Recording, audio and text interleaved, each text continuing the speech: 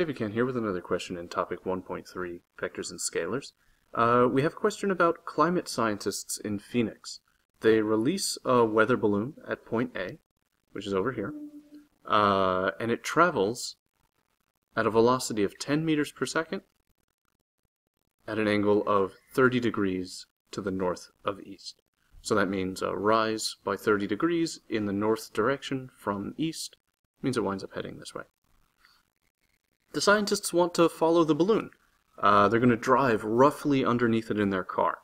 Uh, but the thing is, they're in Phoenix, and the layout of all the roads in Phoenix is, is square.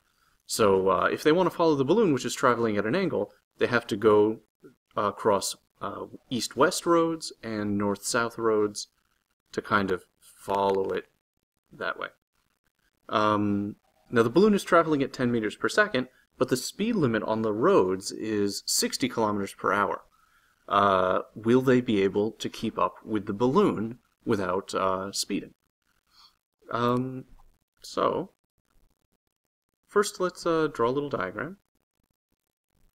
The balloon is going to travel at a rate of 10 meters per second at an angle of 30 degrees from north from east. Uh, so the first instinct might be to break 10 meters per second up into a horizontal and a vertical component. Uh, but to, if you did that, uh, what you would get is the scientists traveling along the horizontal road at the same rate that the balloon is traveling east, which means that the balloon might be here and the scientists in their car might be here below it, which means that by the time the balloon is here, the scientists are going to wind up uh, too far to the south. The scientists need to make it all the way to the balloon uh, in the same time that the balloon reaches that point. Uh, so we're not going to break this up into a horizontal and vertical component for the velocity of the balloon. Instead, we're going to find out how far the balloon travels from point A to some arbitrary point B, maybe some hundred seconds later, and, and that's totally arbitrary. So if they travel, if the balloon travels for 100 seconds, uh, that means the balloon is going to wind up traveling for uh, a thousand meters. So that's 10 meters per second for 100 seconds. 10 times 100 is a thousand meters. So the balloon goes a thousand meters. The scientists have to go that same distance from A to B, but through this corner C. Uh, so how far do they have to travel? Uh, now we're going to break this 1,000 meters up into components. Uh, so using SOHCAHTOA, we know that we have the opposite side of the right angle triangle based on where the angle is. And so this side is going to be 1,000 meters times the sine of 30 degrees. And here we have the adjacent side of the uh, right angle triangle. So this side is going to be 1,000 meters times the cosine of 30 degrees. Uh, using your calculator, you'll find that uh, this vertical distance is 500 meters, and this horizontal distance is 866 meters. Which means that, for the scientists, the total distance that they have to travel is 1,366 meters, the sum of 500 and 866.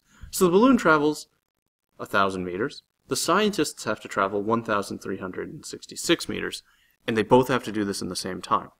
We established that the balloon is going to take 100 seconds to do this. That means that the scientists have to do the same thing.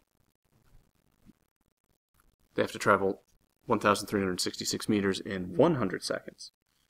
Uh, that means that their overall velocity the distance traveled divided by the time taken is going to have to be 13.66 meters per second.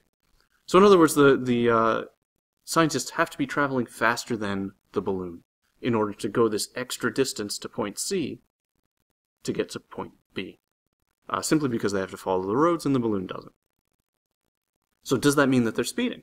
Well, now we need to convert 13.66 meters per second into kilometers per hour. So first we'll convert seconds to hours. uh, knowing the relationship that there are 60 minutes, uh, nope, 60 seconds in a minute. Uh, and there are 60 minutes in an hour. Okay, so those are the relationships between seconds and minutes and minutes and hours. We just need to decide if we want to multiply or divide.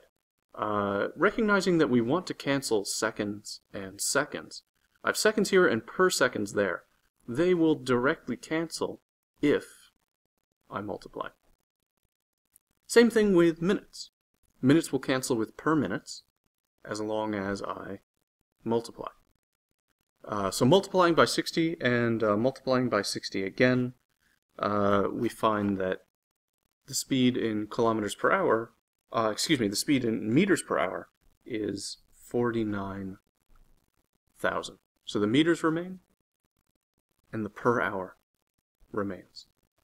Uh, 49,000 meters per hour is 49 kilometers per hour uh, which is under the speed limit. So they should be fine.